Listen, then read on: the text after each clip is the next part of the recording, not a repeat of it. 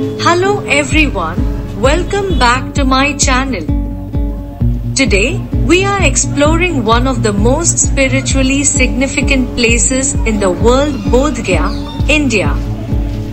This is where Siddharth Gautam, better known as Buddha, attained enlightenment. So, let's dive into this incredible journey together. First up, we're here at the Mahabodhi temple, the heart of Bodh Gaya.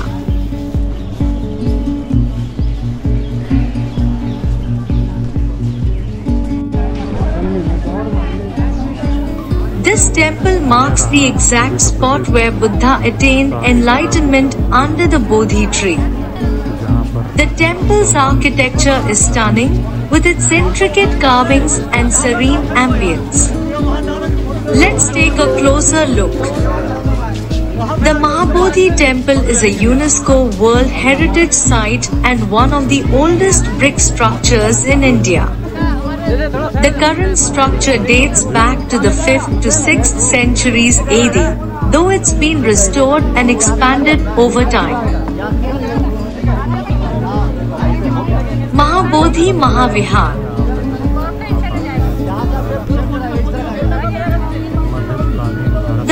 Mahabodhi Mahavihar, or more popularly known as the Bodh Gaya Temple or the Great Stupa, is one of the shrines out of the 84,000 shrines erected by King Asoka the Great in the 3rd century BC. The Mahabodhi Mahavihar is the sole surviving example of what was once an architectural genre. How long it took to create this magnificent structure, or whose creation it is still remains a mystery, and for the lack of a comprehensive historical data, this subject remains a controversy till date. However, throughout the centuries, this blessed site has retained its deep spiritual vibration and inspire countless beings towards a saintly life, and the Vihar itself stands out as an eye-catching artistic landmark, as if standing testimony towards the presence of the greatest teacher of all time mankind has ever witnessed.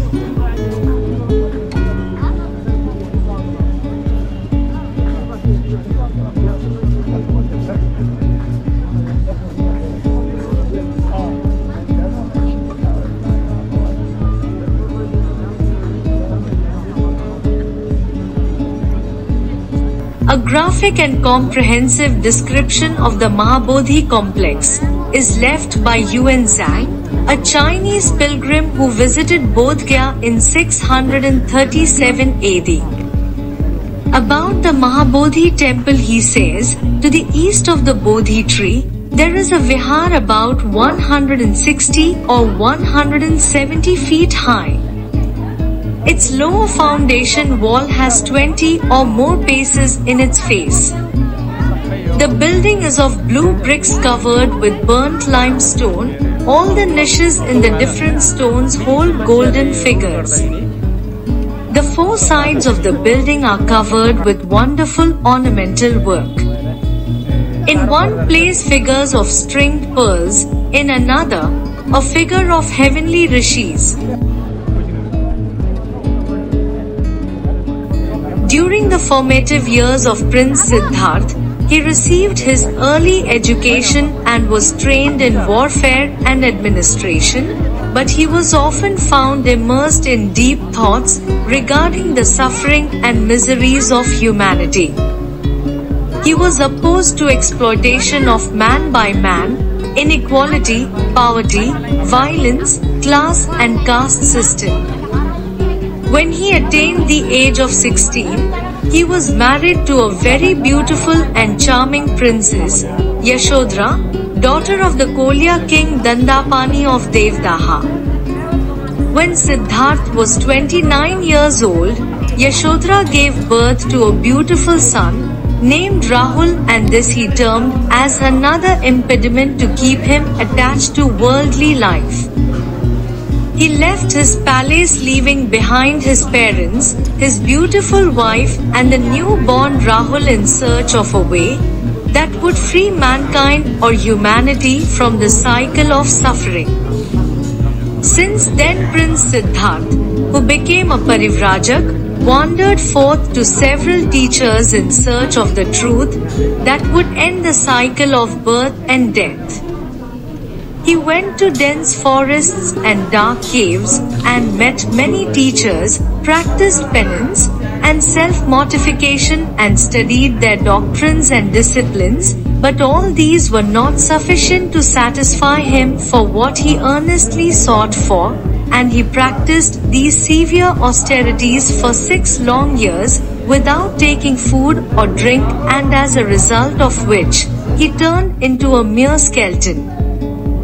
Realizing that the practice of severe austerities would lead him to death, he left his friends and came to the east bank of the river Niranjana, where he was offered kheer by Sujata, daughter of the chief of the village Senani.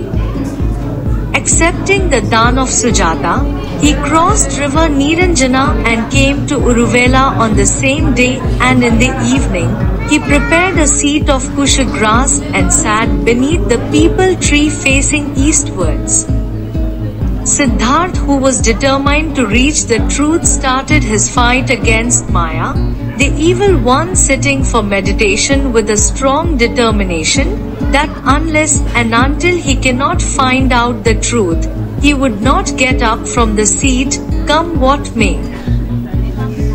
All the efforts of Maya failed to disturb and distract Siddharth from his seat, and on the full moon day of Vaishak, during the last watch of the night at the age of 35 years, he attained supreme enlightenment and came to be known as the Buddha, which means the all-knowing one, the all-compassionate one, one who can show us the truth to end all suffering, for which he is also called the God, Sukto, Samyak Sambuddha and Tathagat. And the seat of his enlightenment is called the Vajrasan or the diamond throne, and the tree under which he attained enlightenment is known as the Bodhi tree, the botanical name being the Ficus religiosa. After attaining enlightenment, the Buddha spent seven more weeks in meditation in seven different places around the Bodhi tree, contemplating his stupendous achievement for this human lit, because to be born as a human being is very rare an opportunity.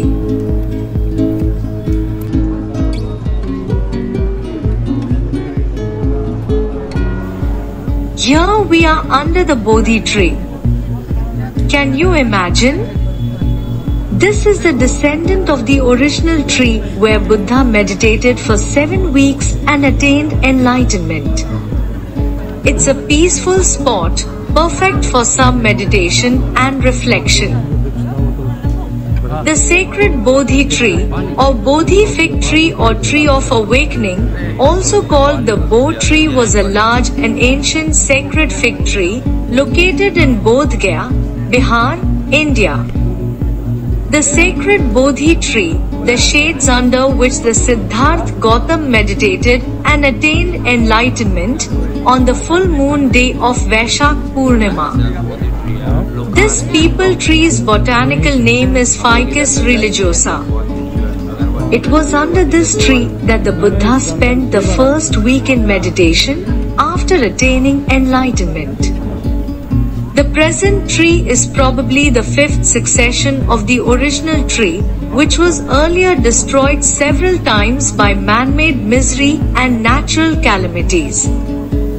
The proper term, Bodhi tree, is also applied to existing sacred fig trees, also known as Bodhi trees. The foremost example of an existing tree is the Mahabodhi tree growing at the Mahabodhi temple in Bodh Gaya, which is often cited as a direct descendant of the original tree. This tree, planted around 250 BCE, is a frequent destination for pilgrims, being the most important of the four main Buddhist pilgrimage sites. Vajrasan or the diamond throne is the seat of the Buddha's enlightenment.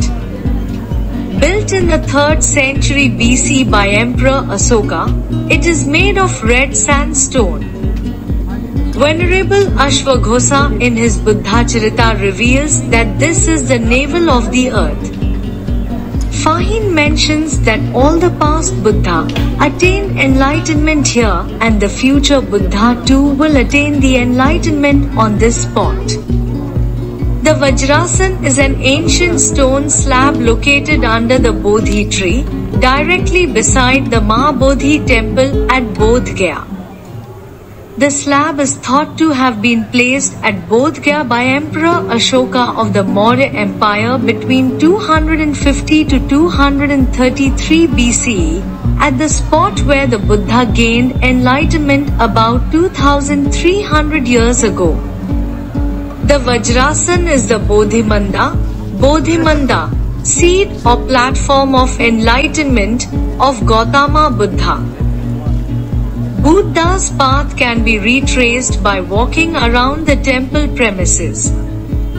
However, the meditation park is a world in its own. This garden is on the left side as you enter while facing the main temple. It faces the southeast and has an entry fee, only allows serious meditators to enter. People who have come to witness the grandeur of Mahabodhi temple can do so without entering the meditation park. Visitors are encouraged to meditate here from sunrise to sunset at a very nominal charge. The garden is adorned by two humongous bells. Even though it is not thickly shaded by trees, the greenery and the silence of the place helps meditators stay away from distraction. This garden is serene, peaceful. Vachalan Sarovar, the place where the Buddha spent the sixth week in meditation after his enlightenment. While the Buddha was in meditation, a severe thunderstorm broke out and seeing the Buddha getting drenched, the snake king of the lake called Muchaland came out of his abode and protected the Buddha with his hood from the violent wind and rains. Muchaland Sarovar is south facing and comes after the meditation park if you are walking around the premises in a clockwise direction. Buddha was meditating here in the sixth week. When a thunderstorm broke here, Buddha remained unmoved and continued to meditate. Muchalind, the snake king of the lake, came out to shelter Buddha against the rains. The lake derives its name from the snake king. There is a depiction of Buddha being covered by Muchalind's hood amidst the lake. The whole building is surrounded by gilded copper amlak fruit.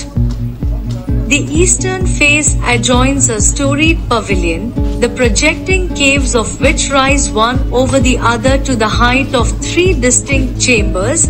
Its projecting caves, its pillars, beams, doors, and windows are decorated with gold and silver ornamental work with pearls and gems let in to fill up interstices. The original fabric of the present Mahabodhi temple, which notwithstanding the simplicity of design and decoration, is of unique importance, being the sole survivor of a style of architecture, which in vogue in this region, and of which vestiges are still in existence in the ruined temples at Nalanda and a few other places. Curiously enough, it retains the dimensions, and broad features with characterized in the time of Yuan Zhang.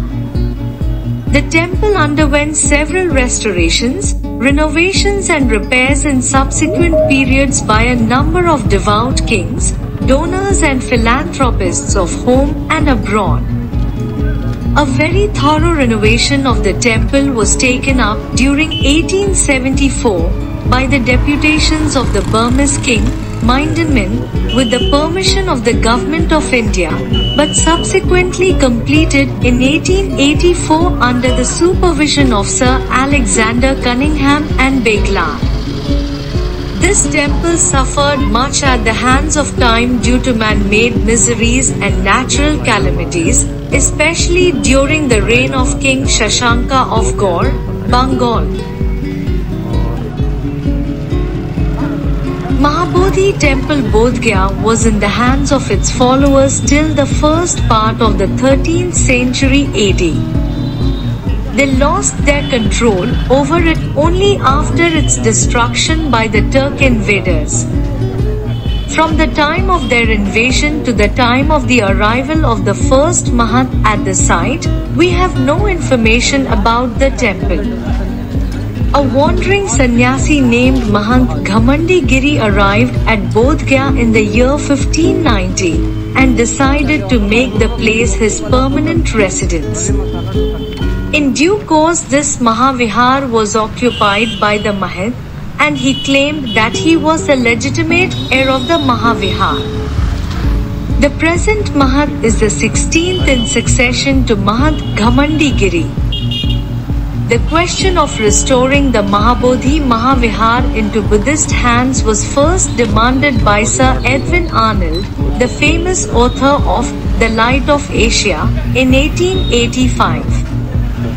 He visited the spot and made an earnest appeal to the government of India as well as to the British government to have the Mahabodhi temple in the hands of the Buddhists who are its legitimate custodians. He also wrote to the Buddhist countries asking them to take up the cause of the temple. In response to his appeal, Anagarika Dharmapala of Sri Lanka took up this cause in 1891 and some of his co-workers of partially regaining the temple from the Mahant after encountering undue hardships.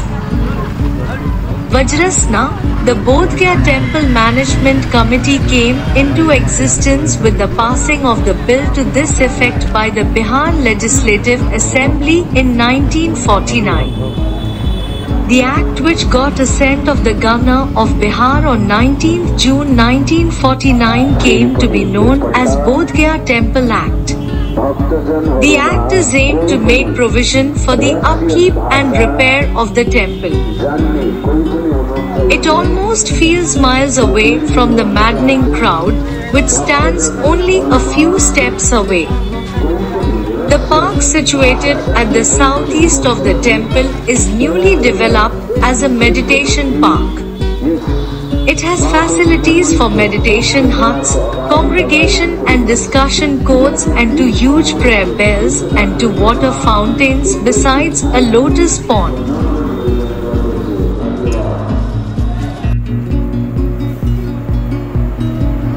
Bodh is home to several monasteries built by Buddhist communities from around the world. Each monastery reflects the unique culture and architectural style of its country. Right now, we are at the Tibetan monastery, which is adorned with vibrant colors and beautiful murals.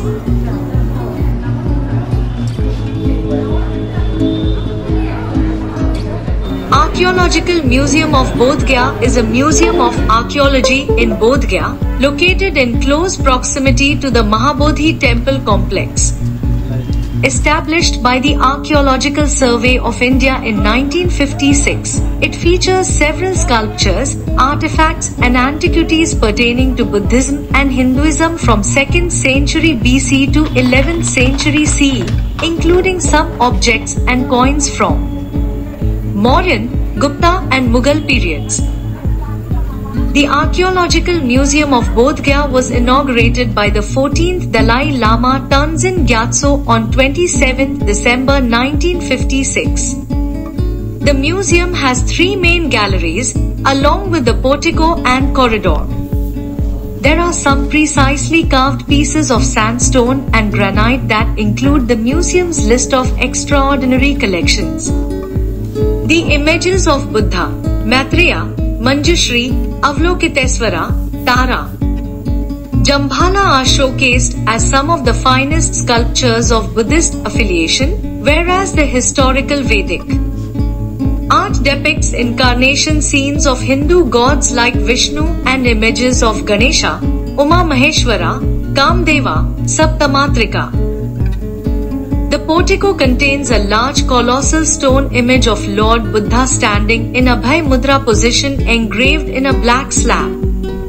Storytelling stone railings carved in sandstone and granite belonging to the main Mahabodhi temple complex can be seen by the visitors upon entering the museum gallery on the left. The sandstone railings can be dated back to 2nd century BC from the Sunga period, while the granite railings are of 6th to 7th century CE. The first gallery features some masterpiece images of Buddhist art that are displayed on pedestals, among which are the images of Lord Buddha in Bhumisparsa, Abhaya, Dharmachakra Pravartana and Dhyana Mudra positions. There are also some artifacts from the prehistoric Tupala period unearthed from excavations at Tardi and Sujatgarh, Bakror, sites alongside miscellaneous objects including terracotta figures, beads and miniature pot, copper, iron, etc. Second gallery showcases comparatively smaller images of both Buddhist and Brahmanical faiths. These include images of Palaira Buddha, Tara, Narotma, Avalokiteshvara, Jambhala. Uma Maheshwar as well as incarnations of Vishnu, Navagraha, Dasatara, and Dikpala panels. Built in the year 1972 with the help of international Buddhist communities, Indosan Nippon Japanese Temple is beautifully carved out of wood and looks very much like a Japanese shrine. It is a fine example of both Japanese architecture and Buddhist culture.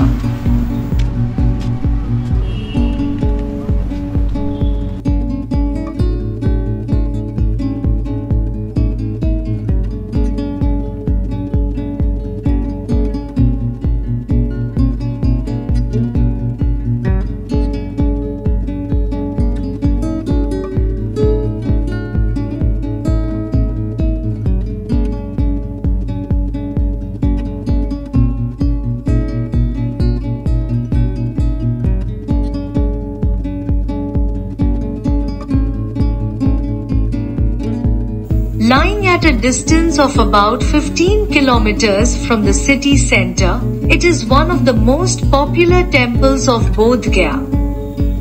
The temple was built to preserve and propagate Buddhism and the beliefs of Lord Buddha, and its walls have inscriptions of the teachings of Buddha.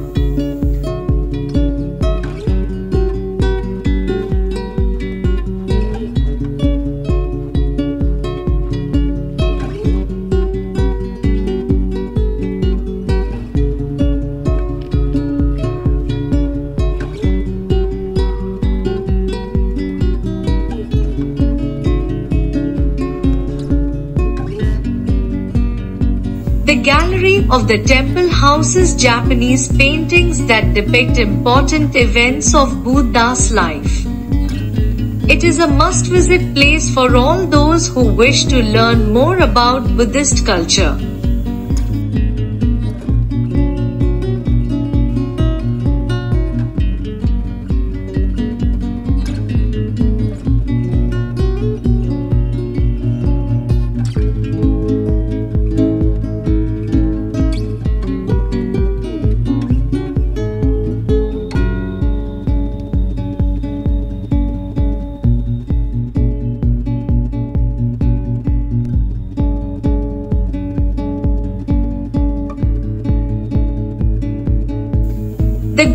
Buddha statue or Daibutsu is one of the popular stops on the Buddhist pilgrimage and tourist routes in Bodh Gaya.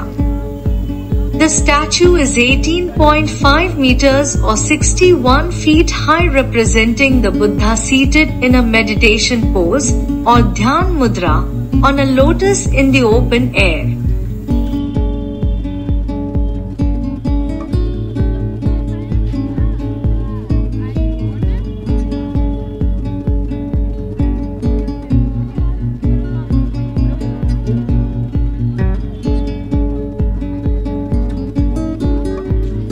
The total height of the construction is 80 feet of which the Buddha makes up 64 feet, the lotus on which the Buddha sits 5 feet and the lower pedestal 10 feet.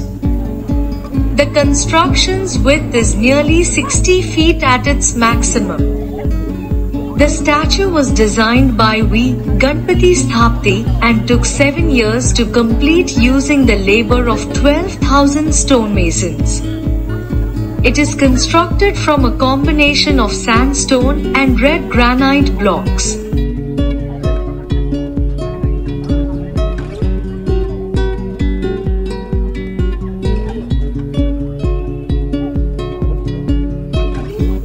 A hollow spiral staircase inside the statue leads from the ground up to the chest. Shelves on the interior walls display 16,300 small bronze images of the Buddha. The great Buddha statue is located in a garden at the end of Temple Street and is surrounded by smaller sculptures of Buddha's ten principal disciples, five on each side. The great Buddha was possibly the largest Buddha statue in India at the time and was consecrated on 18th November 1989 by the 14th Dalai Lama. The foundation stone for the statue was laid in 1982.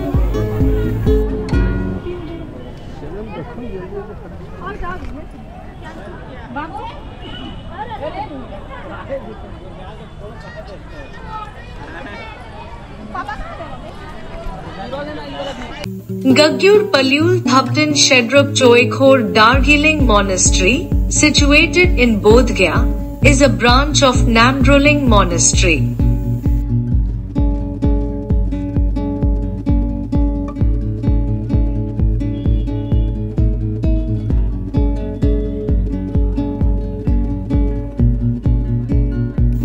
This monastery was successfully built based on the visionary aspiration and direction of Pema Norbu Rinpoche.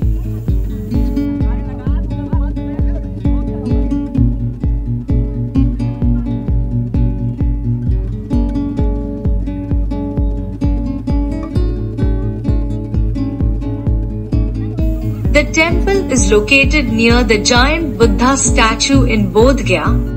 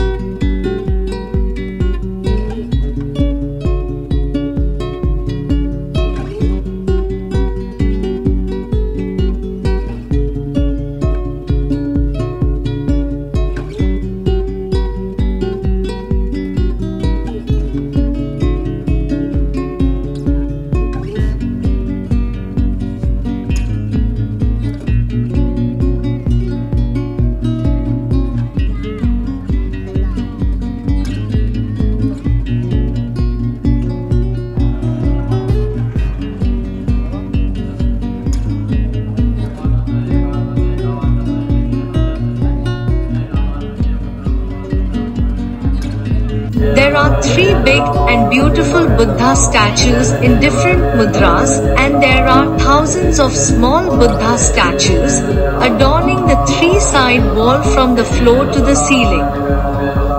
The outer wall has some amazing paintings and there is a stupas-like structure in the temple complex. Previously, during the Ngagyur Nyingma Monlam Chenmo ceremony, there were not enough rooms to accommodate the monks and nuns, and they had to rent a guest house or cloth tent. Therefore, His Holiness started to look for a plot of land in 2000.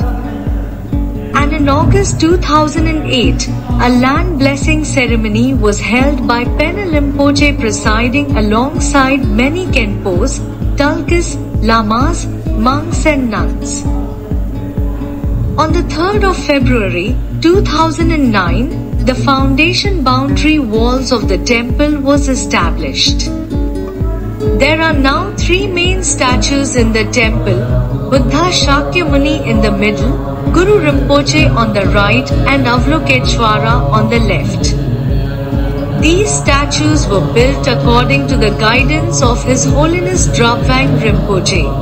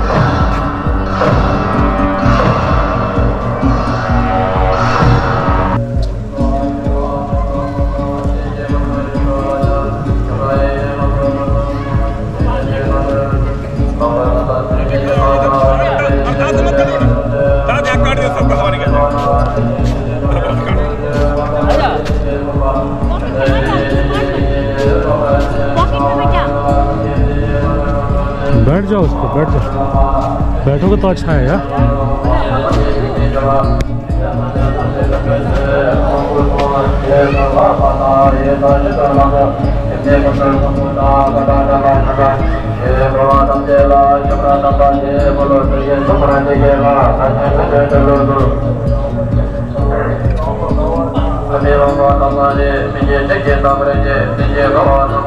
ཁས ཁས ཁས ཁས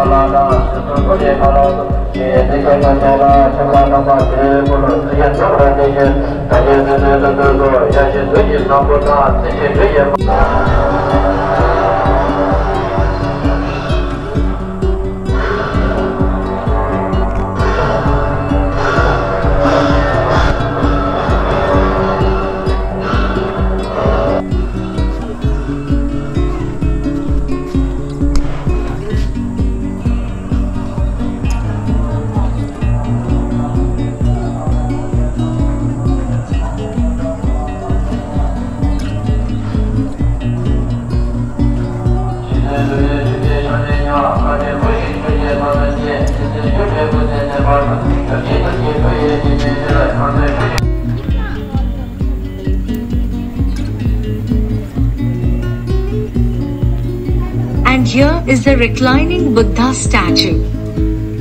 This statue represents the Buddha during his final illness, about to enter parinirvana, which is the state of nirvana after death. It's a powerful and moving depiction. The reclining Buddha statue is beautifully crafted and conveys a deep sense of tranquility.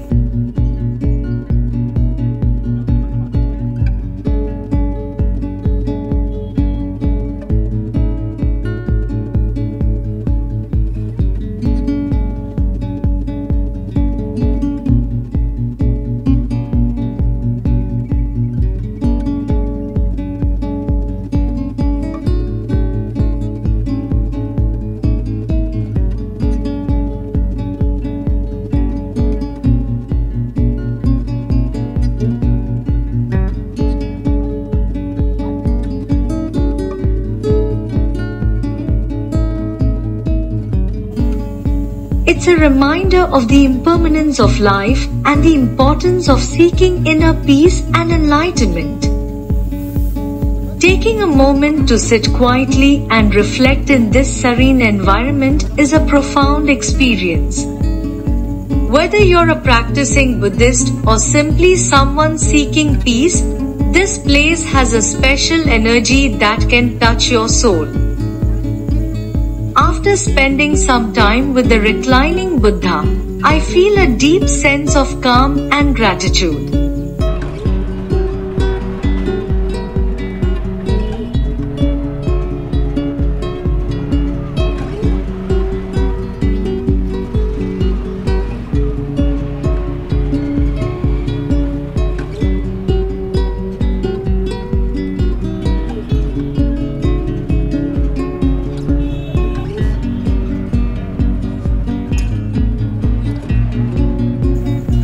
Bodh is truly a place of spiritual awakening and introspection. As the sun sets here in Bodh Gaya, I can't help but feel a deep sense of peace and fulfillment. This place is truly magical, and I hope you all get a chance to visit someday. If you enjoyed this vlog, don't forget to like, comment, and subscribe for more travel adventures. Thanks for joining me on this spiritual journey.